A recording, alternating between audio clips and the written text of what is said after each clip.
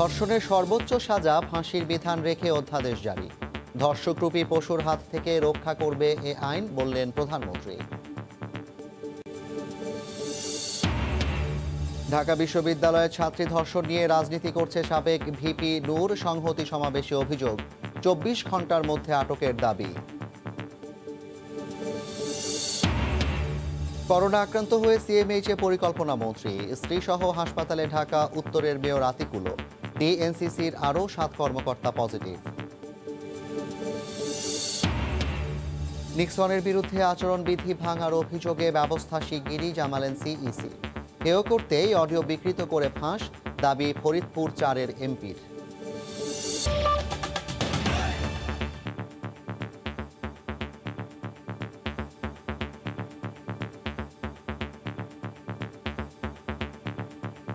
এই মুহূর্তে সিলেটের রাখালিয়া এলাকায় আছেন ইকরামুল কবির। সরাসরি চলে যাচ্ছি তার কাছে। ইকরাম ধন্যবাদ, জাফর। এখন আমি আছি এই আখালিয়া বৃহত্তর আখালিয়া এলাকার যারা আছেন, তারা সবাই মিলে রাহানের বাড়িতে বসছেন যে পরবর্তী একটি কর্মসূচি তারা দেওয়ার জন্য এখানে সভা ডেকেছেন। এখানকার যে কাউন্সিলর আছে, এই এলাকার যারা মুরব্বী আছে, সবাই মিলে তারা সমাবেশে বসেছেন এবং ভিতরে আরও নীতি নির্ধারণী যারা আছে, তারা বসে আগামীকালকের একটি কর্মসূচি নির্ধারণ করছেন এবং আগামীকালকে কর্মসূচি নির্ধারণ করার একটা কারণ হচ্ছে গিয়ে আমরা দুপুরের পর থেকে জেনেছি যে ব- বন্দরবাজার পুলিশ ফাঁড়ি, যেই ফাঁড়িতে রায়হানকে নির্মমভাবে নির্যাতন করে হত্যা করা হয়েছে, এই বাড়ির সবাই অভিযোগ করেছেন এবং বাদী যিনি এই রায়হানের স্ত্রী, তিনিও তার মামলায় উল্লেখ করেছেন এবং অভিযোগ করেছেন। সেই বন্দরবাজার ফাঁড়ির যিনি in charge Akbar Hossain, SI Akbar Hossain, তিনি পালিয়ে গিয়েছেন, নিরুদ্দেশ হয়েছেন কিংবা তার মোবাইল ফোন, দুইটা, তার ফেসবুক, সব সব এই করা দেওয়া হয়েছে। যার কারণে এই যাদেরকে সাময়িক বরখাস্ত করা হয়েছে, তাদের গ্রেপ্তারের দাবিতে এই করা হয়েছে। আমি এখানে আছি এই এলাকার কাউন্সিলর মোখলিসুর রহমান কামরান। আমি একটু জানতে চাইব, আপনারা যে সমাবেশটা রেখেছেন, সমাবেশে আগামীকালকে যে কর্মসূচি বা পরবর্তী যে কর্মসূচি, কী ধরনের কর্মসূচি আপনারা নিচ্ছেন? আসলে আমরা নয়টার সময় ডেকেছিলাম। এখন আমাদের অনেক মুরব্বিয়ানরা আসেন নাই, অনেক মুরব্বিয়ানরা এসেছেন। আপনারা দেখেছেন আমরা ইনডোরে অনেক মুরব্বীদেরকে নিয়ে বসেছি। আমরা ওই যে আগামীকাল কা- করব এই সিদ্ধান্ত আমরা এখনও যেতে পারি নাই। মুরব্বিয়ানরা আলাপ আলোচনা করতেছেন আমাকে, আপনি এইখানে আ- আসার জন্য আমি চলে আসছি মুরব্বিয়ানদের অনুমতি নিয়ে। আমরা সিদ্ধান্ত নিব, আমরা, আমাদেরকে একটু সময় দিতে হবে। আমরা বৃহত্তর আকারে এই বৃহত্তর আখালিয়া মৌজার বারোহামসা নামে একটা বিরাট এলাকা আছে। বিরাট এলাকার সব মুরব্বীদেরকে আমরা ইনভাইট করেছি এখানে আসার জন্য। আমরা চাচ্ছি সবার মতামতের ভিত্তিতে এটা যেভাবে সুষ্ঠু তদন্তর সুষ্ঠু তদন্ত করে এর বিচার প্রক্রিয়াটা শুরু হয়ে গেলে এই আম জনতা তাদের মনের কষ্ট আমার মনে হয় লাঘব হবে। যত দ্রুত সম্ভব এদেরকে যদি মানে জেল হাফ- হেফাজতে নেওয়া যায় অ্যারেস্ট করা যায় আমার মনে হয় এলাকাবাসীকে আমরা শান্ত করতে পারব। আর নাইলে আমরা দুর্বার আন্দোলনে যাব যেটা যেটা চিন্তাও করতে পারবে না প্রশাসন। এই আপনারা জানেন ঐতিহ্যবাহী আখালিয়া। এই ঐতিহ্যবাহী আখালিয়ার আজকে নাই সংগ্রামের পর থেকে এই আখালিবাসীর যে ঐতিহ্য আমরা এক হইতে পারি যে কোনো সময় এইটা এইটা করতে পারব। ধন্যবাদ মোখলেসুর রহমান কামরান সাহেব আপনাকে। শুনছিলেন যে এই এলাকা যে বৃহত্তর আখালিয়াবাসী তারা সবাই বসেছেন এবং তারা একটি কর্মসূচি দিবেন আগামীকালকের জন্য সেই কর্মসূচির কারণ হচ্ছে গিয়ে এই হত্যাকাণ্ডের সাথে যারা জড়িত তাদেরকে তারা আইনের আওতায় আনার জন্য দাবি জানাচ্ছেন। বিশেষ করে যেই যারা পালিয়ে গেছেন কিংবা যারা পালিয়ে যেতে চাচ্ছেন তাদেরকে আইনের আওতায় আনার জন্য দাবি জানানো হচ্ছে এই সমাবেশ থেকে। সেই সমাব, সেই কারণেই একটি কর্মসূচি কালকে দেওয়া হবে। জাফর, এই ছিল আখালিয়া রাহানের বাড়ি থেকে একটি সমাবেশ হচ্ছে। এই সমাবেশে আগামীকালকে কর্মসূচি দেওয়া হবে। এই কর্মসূচির সূচির সর্বশেষ খবর। সিলেটের রাখালিয়া থেকে যুক্ত হয়েছিলেন সহকর্মী ইকরামুল কবির। ধর্ষণের সর্বোচ্চ সাজা ফাঁসির বিধান রেখে নারী ও শিশু নির্যাতন দমন আইনের সংশোধনীর অধ্যাদেশ জারি করেছে সরকার। দুপুরে রাষ্ট্রপতির সইয়ের পর এই আইনের সংশোধনী গেজেট আকারে প্রকাশ করে আইন মন্ত্রণালয়। আলাদা এক অনুষ্ঠানে প্রধানমন্ত্রী শেখ হাসিনা বলেছেন, ধর্ষকরূপী পশুর হাত থেকে নারীদের রক্ষা করবে মৃত্যুদণ্ড। জনদাবিকে সম্মান জানিয়ে সোমবার মন্ত্রিসভার বৈঠকে আইনের সংশোধনীর যাচাই শেষে আসে চূড়ান্ত সিদ্ধান্ত। ধর্ষণের সর্বোচ্চ সাজা মৃত্যুদণ্ড। মৃত্যুদণ্ডে বা যাবজ্জীবন সশ্রম কারাদণ্ডে সত্যগুলি প্রতিস্থাপিত হবে। সংসদ অধিবেশন না থাকায় এই অধ্যাদেশে মঙ্গলবার দুপুরে সই করেন রাষ্ট্রপতি মোহাম্মদ আব্দুল হামিদ। পরে সেটি পাঠানো হয় আইন মন্ত্রণালয়ে। বিকেল তিনটায় এটিকে গেজেট আকারে প্রকাশ করে মন্ত্রণালয়। বলা হয় এই অপরাধের সাজায় যাবজ্জীবন সশ্রম কারাদণ্ডের পরিবর্তে মৃত্যুদণ্ড বা সশ্রম কারাদণ্ড শব্দ যোগ হবে। পরে সংসদে আইনটি পাশ করে নেওয়া হবে। এক অনুষ্ঠানে প্রধানমন্ত্রী এই বিষয়ে প্রতিক্রিয়া জানান। ধর্ষণ একটা মানে আমি বলব যে মানুষ হয়তো পশু হয়ে যায়, সেই জন্যই তাদের মধ্যে এই যে পাশবিকতা, তার ফলে আজকে আমাদের মেয়েরা ক্ষতিগ্রস্ত। সেই জন্য আমরা এই আইনটি সংশোধন করে আমরা এখানে ধর্ষণ করলে সেখানে যা মৃত্যুদণ্ড, যাবজ্জীবনের সাথে মৃত্যুদণ্ড দিয়ে ইতিমধ্যে আমরা ক্যাবিনেটে সেই আইন পাশ করে দিয়েছি। এবং যেহেতু পার্লামেন্ট সেশনে নাই, আমরা এটা অধ্যাদেশ জারি করে দিচ্ছি। কাজী যে কোনো একটা সমস্যা দেখা দিলে সেটাকে মোকাবেলা করা এবং সেটাকে দূর করা, এটাই আমার ঢাকা বিশ্ববিদ্যালয় ছাত্রী ধর্ষণের অভিযোগকে রাজনীতির হাতিয়ার বানিয়েছে ছাত্র অধিকার পরিষদ। নির্যাতিতার চরিত্র নিয়ে প্রশ্ন তুলে ডাকসুর সাবেক ভিপি নুরুল হক নূর বুঝিয়ে দিয়েছেন তিনি ধর্ষণের পক্ষে। এমন মন্তব্য করেছেন নির্যাতিতার অবস্থান কর্মসূচিতে সংহতি জানাতে আসা বিভিন্ন শ্রেণি পেশার মানুষ। অবিলম্বে নূরকে গ্রেফতারের দাবিও তোলেন তারা। ধর্ষণের বিচার চেয়ে টানা ছয় দিন ধরে রাজপথে ঢাকা বিশ্ববিদ্যালয়ের ছাত্রী। মঙ্গলবার তার প্রতিবাদে সংহতি জানাতে আসেন বিভিন্ন শ্রেণি পেশার মানুষ। সংহতি সমাবেশে বলা হয় ধর্ষণের ঘটনাকে রাজনৈতিক মোড় দিচ্ছে ছাত্র অধিকার পরিষদ। নির্যাতিতার চরিত্রে কালিমা লেপনের অপচেষ্টা করছে ডাকসুর সাবেক ভিপি নুরুল হক। ছাত্র অধিকারের নামে মানুষের ধর্ষণকে আশ্রয় প্রশ্রয় দেয় দর্শককে কভার দেওয়ার চেষ্টা করে। নুরু সহ যে ছয় জনের বিরুদ্ধে মামলা হয়েছে। তাদেরকে কেন এত কালক্ষেপণ করা হচ্ছে গ্রেফতার করবার জন্য? ভিকটিম ব্লেমিং কি জঘন্যতম অপরাধ। সিরাজগঞ্জের উল্লাপাড়ায় দু হাজার এক সালে ধর্ষণের শিকার পূর্ণিমা রানীশীল সমাবেশে অংশ নিয়ে অভিযোগ করেন বিচারের দীর্ঘসূত্রতায় এখনও তাকে নানাভাবে হয়রানি হতে হয়। এখনও মামলার জন্য আমাকে হাইকোর্টে গিয়ে দাঁড়াতে হয়। কেন? আমার মামলার রায় এখন আমি পাচ্ছি না। আইনের পাশাপাশি দৃষ্টিভঙ্গি পাল্টানোর আওয়াজ ওঠে সমাবেশে। নির্যাতিতা বলেন রাজনৈতিকভাবে শক্তিশালী হওয়ায় মূল আসামিরা এখনও ধরাছোঁয়ার বাইরে। আসামিরা যতক্ষণ পর্যন্ত বাইরে থাকে ততক্ষণ পর্যন্ত তদন্ত প্রতিবেদন হচ্ছে যে প্রভাবিত হওয়ার সম্ভাবনা থাকে। বিভিন্ন মাধ্যম থেকে আমাকে হুমকি দামকে দেওয়া হচ্ছে। নুরুল হককে চব্বিশ ঘণ্টার মধ্যে আটকের দাবি তোলেন বক্তারা। ইকাম হুসাইন সময় সংবাদ ঢাকা। এমপি নিক্সটন চৌধুরীর বিরুদ্ধে আচরণবিধি ভাঙার অভিযোগ নিয়ে শিগগিরই ব্যবস্থা নেওয়ার কথা জানালেন প্রধান নির্বাচন কমিশনার। প্রশাসনিক কর্মকর্তাদের গালিগালাজ করার প্রতিবাদ জানিয়ে চিঠি দিয়েছে বাংলাদেশ অ্যাডমিনিস্ট্রেটিভ সার্ভিস অ্যাসোসিয়েশনও এদিকে হেয় করতেই অডিও বিকৃত করে ফাঁস করার দাবি ফরিদপুর চার আসনের এই সংসদ সদস্যের। ফরিদপুরের চর ভদ্রাসন উপজেলা পরিষদ নির্বাচনকে ঘিরে এমপি নিক্সন চৌধুরীর জেলা প্রশাসক ও উপজেলা নির্বাহী কর্মকর্তাকে গালিগালাজ করার অডিও সামাজিক যোগাযোগ মাধ্যমে ভাইরাল হওয়ার পর উঠেছে আলোচনার ঝড়। মঙ্গলবার এ বিষয়ে জানতে চাইলে প্রধান নির্বাচন কমিশনার বললেন, আচরণবিধি ভঙ্গের অভিযোগ পেয়েছে নির্বাচন কমিশন। শিগগিরই আইন অনুযায়ী ব্যবস্থা নেওয়া হবে। যেভাবে আইনের বিধান আছে, সেই অনুসারে তার বিরুদ্ধে আমরা অ্যাকশন নেব। এবং এখানে ব্যক্তি কি এটা আমাদের কাছে মোটেই বিবেচ্য বিষয় নয় মাত্র তিনি অপরাধী আইন ভঙ্গ করেছেন সেভাবে যেটা করার দরকার সেটা অবশ্যই করব। এদিকে এ নিয়ে সংবাদ সম্মেলনে এসে নিক্সন বললেন অডিও রেকর্ডের কণ্ঠ তার নয়। তাকে হেয় করতেই এডিট করে কথা বসানো হয়েছে।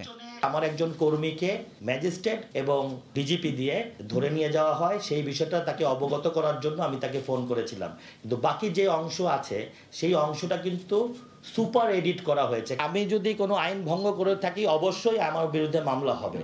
কিন্তু আমার একার বিরুদ্ধে মামলা হবে কেন আইন ভঙ্গ করলে? আইন তো ডিসিও ভঙ্গ করছে। সে কি পারে? আটচল্লিশ ঘণ্টা অতিক্রম না করার আগে টিওনোকে নির্দেশ দিয়ে আমার বাড়িতে পাঠানো? যদি আমার একার বিপক্ষে মামলা হয়, তাহলে অবশ্যই ডিসির বিরুদ্ধেও মামলা হবে। এদিকে নিক্সনের আচরণের প্রতিবাদ জানিয়ে মন্ত্রিপরিষদ বিভাগে চিঠি দিয়েছে বাংলাদেশ অ্যাডমিনিস্ট্রেটিভ সার্ভিস অ্যাসোসিয়েশনও। গত দশ অক্টোবর চর ভদ্রাসন উপজেলা পরিষদের চেয়ারম্যান পদে ভোট চলার সময় এক কর্মীকে আটক করায় কর্তব্যরত ম্যাজিস্ট্রেটকে টেলিফোনে গালিগালাজ করার অভিযোগ ওঠে নিক্সন চৌধুরীর বিরুদ্ধে। পরে ইউএনওকে ফোন করে ক্ষোভ ঝাড়েন তিনি। মুজাহিদ শুভ সময় সংবাদ ঢাকা।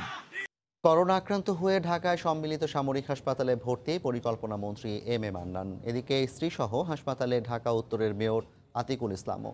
কোভিড পজিটিভ ডিএনসিসির আরও সাত কর্মকর্তা। করোনায় আক্রান্তের খবর নিশ্চিত হওয়ার দুদিন পর হাসপাতালে ভর্তি হলেন ঢাকা উত্তর সিটি কর্পোরেশনের মেয়র আতিকুল ইসলাম। মঙ্গলবার বিকেল সাড়ে তিনটা নাগাদ স্ত্রী ডাক্তার শায়লা সাগুপ্তা ইসলাম সহ হাসপাতালে যান মেয়র। ডিএনসিসির মেয়র ও তার স্ত্রী অসুস্থ বোধ করলে রোববার সকালে করোনা পরীক্ষার জন্য নমুনা দেন। রাতে পরীক্ষার ফল পজিটিভ আসে। এরপর তারা নিজ বাসাতেই আইসোলেশনে ছিলেন। হাসপাতাল সূত্রে জানা যায়, আতিকুল ইসলামের শারীরিক অবস্থা নিয়ে আপাতত শঙ্কার কিছু না থাকলেও তার স্ত্রীর সিটি স্ক্যানের রিপোর্টে কিছুটা অসঙ্গতি লক্ষ্য করা গেছে। তাছাড়া ব্যক্তিগত সহকারী রিশাদ মুর্শদের ফুসফুসে সংক্রমণ ধরা পড়েছে বলেও জানা গেছে। তবে তাদের শারীরিক অবস্থা সম্পর্কে পুরোপুরি নিশ্চিত হতে হলে আরও কিছু সময়ের প্রয়োজন বলে জানিয়েছেন হাসপাতাল পরিচালক। দুপুরে উনি এসেছেন, তিনটা একত্রিশে উনি হসপিটালে এসে ভর্তি হয়েছেন। আপাতত দৃষ্টিতে উনি ভালো আছেন, ওনার মনোবল আছে। তবে আমরা এখনও ডিটেইল ইনভেস্টিগেশনগুলো করছি ইনভেস্টিগেশনগুলো রিপোর্টগুলো আমাদের হাতে এসে ফেলে, আমরা হয়তো আরও তখন বিস্তারিত ভাবে ওনার অবস্থাটা জানতে পারব। ঢাকা উত্তরের সিইও, গণসংযোগ কর্মকর্তা সহ মোট আটজন এখন করোনায় আক্রান্ত। এদিকে একই দিন করোনায় আক্রান্ত হয়ে সিএমএইচে ভর্তি হয়েছেন পরিকল্পনা মন্ত্রী এম এ মান্নান। তবে তার শারীরিক অবস্থা ভালো বলে জানা গেছে। রাশেদ লিমন, সময় সংবাদ, ঢাকা। স্বাস্থ্য অধিদপ্তরের হিসেবে করোনায় আক্রান্ত হয়ে দেশে চব্বিশ ঘন্টায় বাইশ জন মারা গেছেন। নতুন শনাক্ত হয়েছেন এক হাজার পাঁচশো সাঁত্রিশ জন রোগী। এ নিয়ে দেশে মোট রোগীর সংখ্যা তিন লাখ একাশি হাজার দুইশো পঁচাত্তর জন।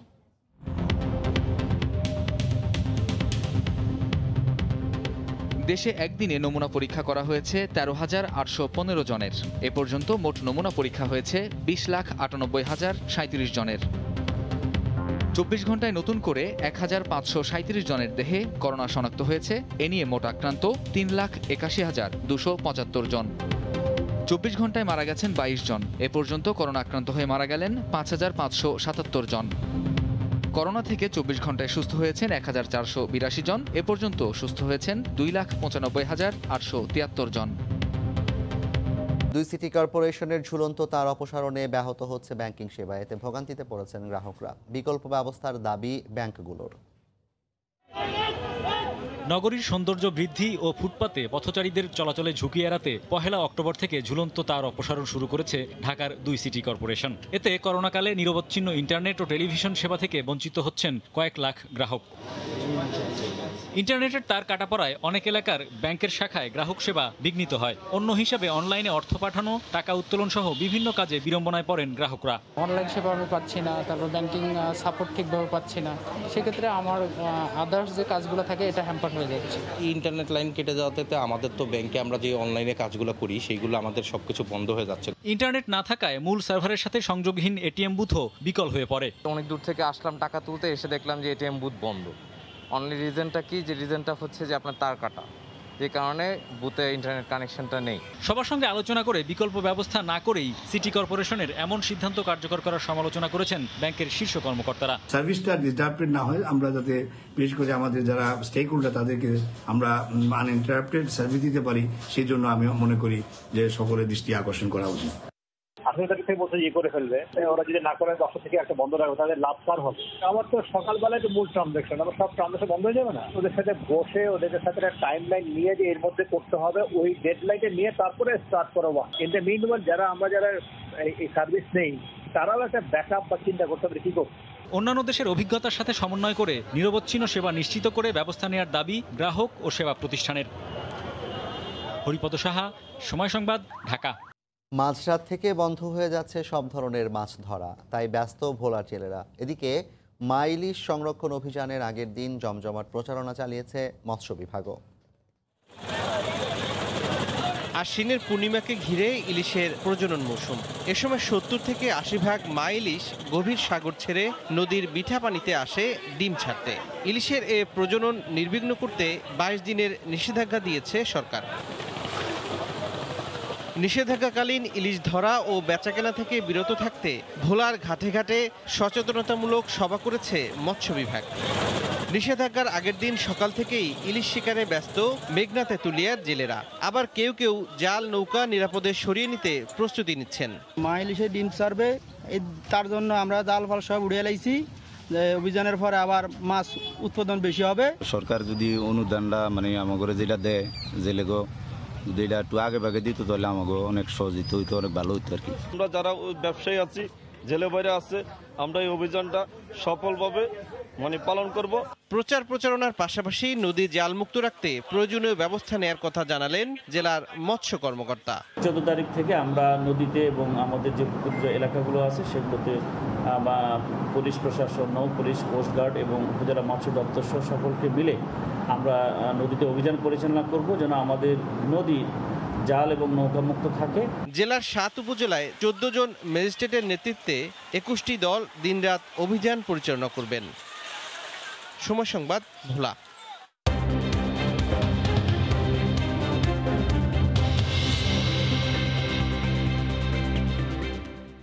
হঠাৎ করেই অস্বাভাবিক বেড়েছে আলুর দাম। উৎপাদনের শীর্ষ জেলা মুন্সীগঞ্জের ছেষট্টিটি হিমাগারে পর্যাপ্ত আলু সংরক্ষিত আছে। তারপরও বন্যায় সবজির দাম বাড়তি থাকার কথা বলে সিন্ডিকেট করে বাড়ানো হয়েছে আলুর দাম। আলু উৎপাদনে শীর্ষ জেলা মুন্সীগঞ্জে এবার বাম্পার ফলন হয়েছে। সংরক্ষণও হয়েছে যথাযথ। হিমাগারগুলোতে আলুর কোনো রকম ক্ষতি হয়নি। তারপরও এই দাম বৃদ্ধি। আলুর বাজার এখন এক শ্রেণির ব্যাপারী নিয়ন্ত্রণে। সংরক্ষণকারী হিমাগারে এসেও আলু বিক্রি করতে পারছেন না। এটা সিন্ডিকেটের কারসাজি বলে মনে করছেন সাধারণ ক্রেতারা। যারা আলু চাষ করে, এরা এত দাম বাড়া বাড়ানোর পক্ষে পক্ষে সম্ভব না। এটা সিন্ডিকেট হয়েছে বিভিন্ন ব্যবসায়ী আলু রাইখা সিন্ডিকেট করে বেশি দামে বিক্রি হয়। পঁয়ত্রিশ টাকা কেরা নিবে বা কে কিনবে এরকম কোনো লোক খুঁজে পাইতেছি না। হ্যাঁ লোক নেই। এখন আমার তো বিপদ। হ্যাঁ আমি বিক্রি করতে পারলে মনে করেন যে আমার মুক্তি পাইতাম জেলায় এবার প্রায় সাড়ে সাঁত্রিশ হাজার হেক্টর জমিতে তেরো লাখ মেট্রিক টনেরও বেশি আলু উৎপাদন হয়েছে। সংরক্ষিত আলুর বেশিরভাগের মালিক এখন মধ্যসত্ত্বভোগী আলু কৃষকের যদি নষ্ট হয়ে যায় ওই তার ড্যামারেজ দেওয়ার জন্য তারা এই আলুটা শুধু কিনে। কিন্তু হিমাগার মালিকরা কখনো আলু স্টোরে রাখে না। সবজির যেহেতু মূল্য উচ্চ সেই সুযোগে আমাদের শ্রেণির ব্যবসায়ী আলু উচ্চ মূল্য দিচ্ছে। আসলে এটা কোনো যৌক্তিকতা নেই কারণ আমাদের আলু কোলেস্ট্রলগুলোতে পর্যাপ্ত আলু মজুদ ছিল। জেলার হিমাগারগুলোতে পাইকারি আলু পঁয়ত্রিশ থেকে আটত্রিশ টাকা আর খুচরা বাজারে ছেচল্লিশ থেকে পঞ্চাশ টাকা কেজি দরে বিক্রি হচ্ছে। নাসির উদ্দিন উজ্জ্বল, সময় সংবাদ এ পর্যায়ে শীর্ষ সংবাদ জানিয়ে দিচ্ছি আরেকবার। ধর্ষণের সর্বোচ্চ সাজা ফাঁসির বিধান রেখে অধ্যাদেশ জারি ধর্ষকরূপী পশুর হাত থেকে রক্ষা করবে এ আইন, বললেন প্রধানমন্ত্রী। এবং করোনা আক্রান্ত হয়ে সিএমএইচে পরিকল্পনা মন্ত্রী স্ত্রী সহ হাসপাতালে ঢাকা উত্তরের মেয়র আতিকুলো ডিএনসিসির আরও সাত কর্মকর্তা পজিটিভ। এই ছিল রাতের সময়। সঙ্গে থাকুন সময়।